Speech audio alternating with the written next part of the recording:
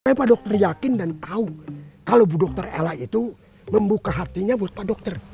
Atau malah sebaliknya. Menutup rapat-rapat hatinya buat Pak Dokter.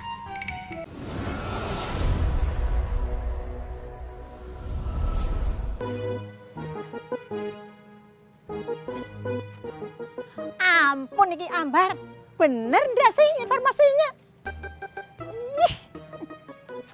Memangnya Pak Dokter teh yakin mau meninggalkan Ciraus sekarang? Kalau yakin sih enggak Pak Ustadz. Cinta itu harus diperjuangkan Pak Dokter. Tapi sepertinya Nyerah. sepertinya Elang belum lupa sama mantannya Pak Ustadz. Terus Pak Dokter mundur begitu. Ya, Pak Dokter, Pak Dokter itu boleh saja hebat dalam bidang kedokteran. Ya, semudah ini sudah bisa menjadi dokter spesialis. Tapi dalam hal yang satu ini, Pak Dokter teh belum ada apa-apanya. Ya, maaf Pak Ustadz. Pak Dokter teh sudah jadi tugas Pak Dokter untuk membantu Bu Dokter Ella agar bisa melupakan mantannya. Membantu? Ya membantu. Siapa tahu dengan kehadiran Pak Dokter di sini, ya sekarang ini bisa membantu Bu Dokter Ella. Lambat laun, perlahan-lahan tapi pasti untuk melupakan semuanya. Saya bisa ya Pak Ustadz? Ya kalau soal itu tanya sendiri pada diri dokter sendiri. Saya memang harus banyak belajar sama Pak Ustadz. Ya tuh kan saya sudah bilang, Pak Dokter tuh ada di jalan yang benar. Pak Dokter, perjalanan saya itu mengajak Ati ke pelaminan. Itu tidak sebentar, tidak satu dua bulan, tapi sudah hampir setahun lebih. Banyak suka dukanya, tapi saya harus berjuang. Ya, karena itu mungkin yang utamanya Pak Dokter, berjuang. Segala sesuatunya teh harus diperjuangkan. Jangan kebanyakan mengeluh dan menuntut ini itu. Iya Pak Ustadz. Ya harus iya. Berjuang. Sampai Pak Dokter yakin dan tahu kalau Bu Dokter Ella itu membuka hatinya buat Pak Dokter. Atau malah sebaliknya. Menutup rapat-rapat hatinya buat Pak Dokter. Iya Pak Ustadz. Saya akan berjuang. Nah, begitu. Ayo.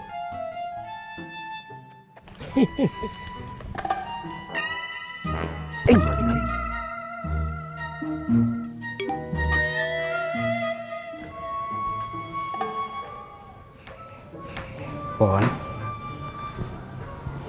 Iya, kalau nggak jadi honeymoon juga nggak apa-apa. Nanti Veronica papa nanterin ke Cibulan. maaf ya Puan. Maksud saya, Iya. Iya Kang Junet, papa ngikutin Kang Junet. maksud saya, Iya. Honeymoonnya ditunda kan? eh, saya ikut ke Cibulan, Pon.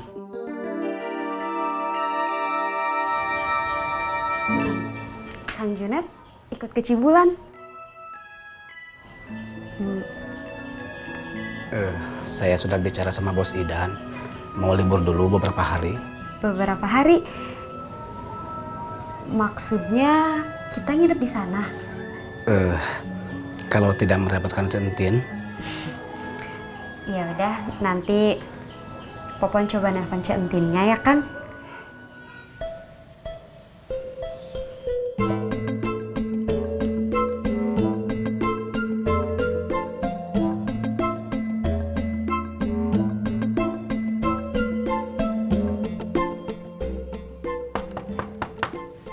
Assalamualaikum.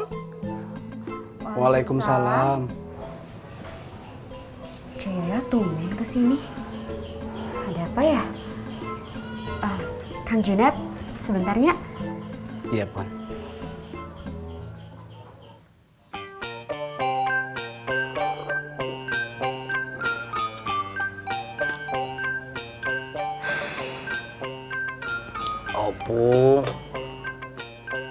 Nggak tahu lagi lagu ini, Jang.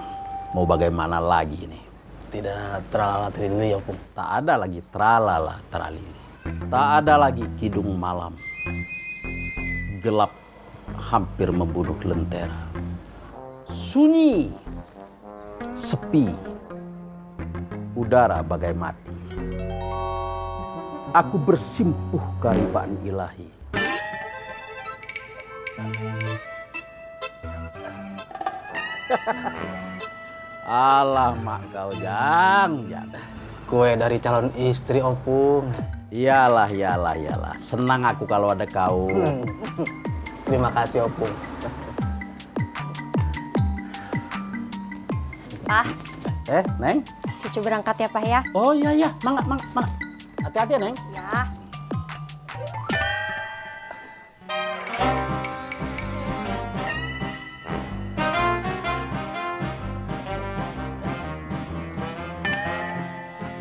Alamak, bakal kelilipan pula aku ini.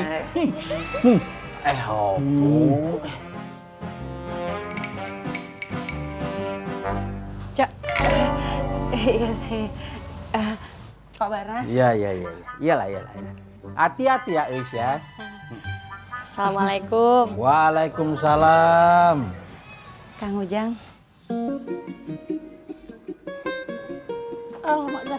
Masih juga rupanya kau kedap-kedip. Bisa kelilipan betul mataku ini. Berkah ini mah opung. Iyalah, iyalah. Tapi bakal kelilipan aku.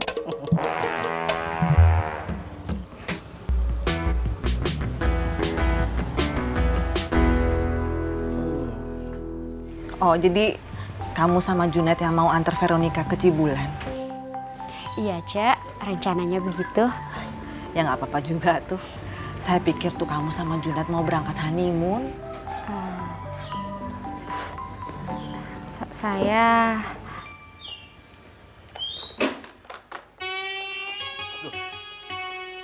Assalamualaikum.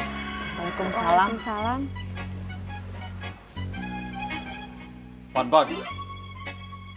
Jadi orang jangan mau enaknya sendiri aja dong. Tanggung jawab sama Veronica. Hah? Antar Veronica pulang. Jangan mau terima transferan aja dong. Mana sih?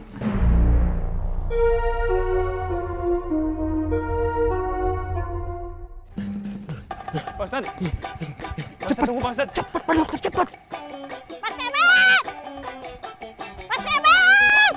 Kalau yang model begitu, tidak usah diperjuangkan ya. Kan baju nih. Udah nggak usah dibahas.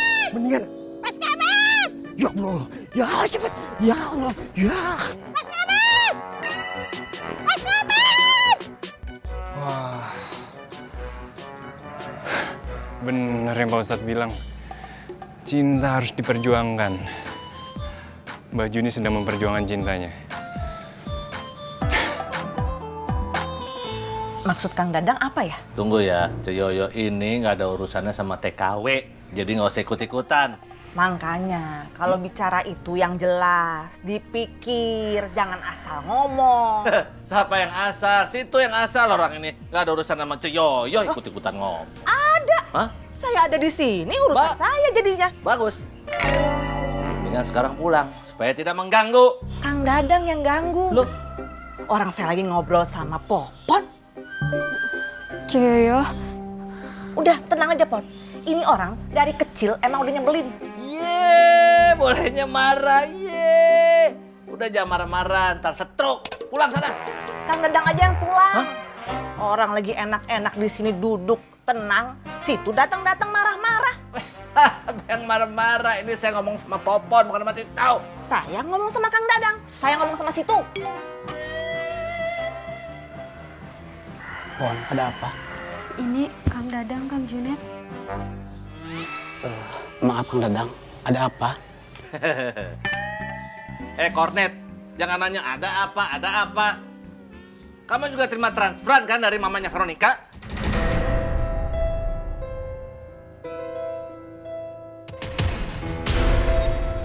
Transferan apa? Lah, kura-kura dalam perahu, pura-pura tidak tahu. Dasar tempe.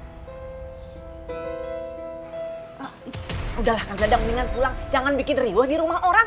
Ih, sana. Siapa yang riwah? Kang Dadang, Hah? punten, saya saya sama sekali tidak makan uang dari transferan mamanya Veronica. Apalagi Kang Junet, semuanya teh buat kebutuhannya Veronica. Bohong. Saya nggak percaya. Udah, mendingan pulang ya. Pulang. jangan bikin ribut. Pulang, silahkan. Udah jam berisik. Eh, Popon. Kalau Veronica minta antar pulang ke Cibulan, antar dong. Punten, saya memang mau anterin, Kang. Ya udah antar sana. Kang Dadang, denger ya. Dengerin saya ngomong nih. Veronica itu diasuh sama Entin. Entin itu istri dari almarhum Wak Sain. Artinya Veronica itu udah jadi anaknya Wak Sain juga. Harusnya Yeay, senangnya ungkit-ungkit ikut campur. Udah nggak usah berisik. Assalamualaikum. Awas. Waalaikumsalam. Ada si orang begitu, heran. Untung sendal jauh tuh, Pon. Kalau deket, uh. Udah, Pon, tenang aja. Pokoknya, kalau dia datang lagi ke sini marah-marah, kamu telepon saya. Iya, Ciyoyo. Saya pulang dulu. Assalamualaikum. Waalaikumsalam.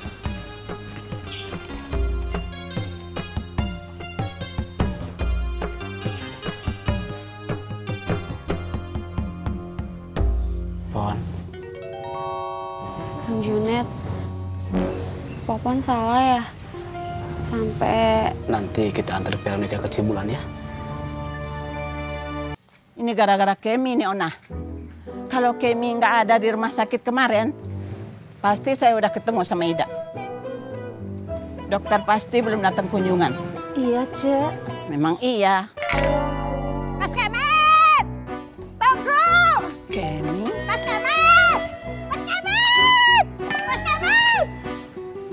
Ampun Kemi. Malah dia olahraga bareng burung merak. Lari-lari pagi tuh nah. Hmm, tahu malu. Mana cabut? Iya, Cek. Pak.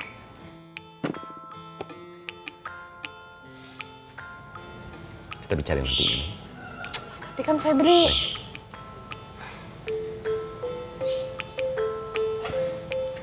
Assalamualaikum. Neng. Bapak nggak kasih. Bapak bukan yang nggak kasih. Bapak nggak kasih, Bu. Febri kan mau bantuin Bapak. Iya, kamu mau bantu. Iya, terus Bapak kan harusnya... Bapak ngelarang karena dia punya alasan. Alasan apa? Memangnya apa salahnya sih, Bu, kalau Febri mau bantu Bapak? Nggak salah. Kamu nggak salah. Iya itu, tapi Bapak nggak ngasih. Bapak kamu mikir, kamu itu belajar cari uang dari jualan bolu. Jadi kalau suatu nanti kamu nikah sama Edward, kamu bisa bantu cari uang tambahan. Memangnya salah ya kalau Febri nanti mau bantu-bantu Edward? Nggak salah. Ibu juga dulu pernah cari uang kan? Iya, itu mah ibu sendirian. Ya itu, yang bapak kamu nggak mau. Dia nggak mau kamu seperti ibu.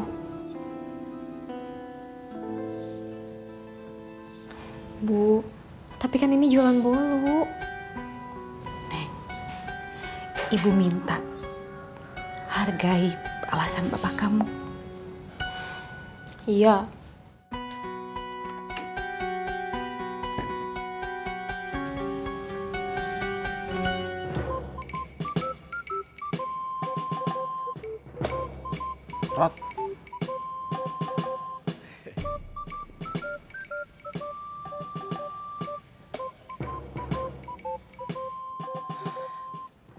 Harusnya kamu yang buat, Rot.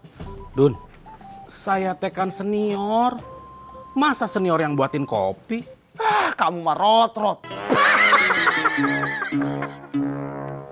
Terima kasihnya, Dun. Iya, sama-sama. Assalamualaikum. Waalaikumsalam. Bubar, bubar, bubar, bubar, bubar. bubar Pak Ustadz RW. Ya cepet sembunyi, sembunyi. maaf Pak Ustadz RW, memangnya... Udah nanti aja nanyanya. Ayo cepet bubar, sembunyi. Sem- Siap Pak Ustadz RW. Eh, kopinya. Oh. Ayo Dun, ayo Dun.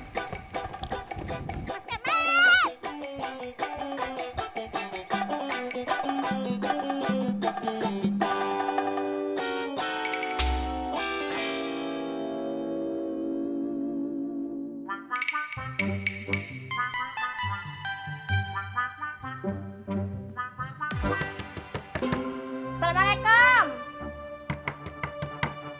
Mas Kemet, keluar. Oh,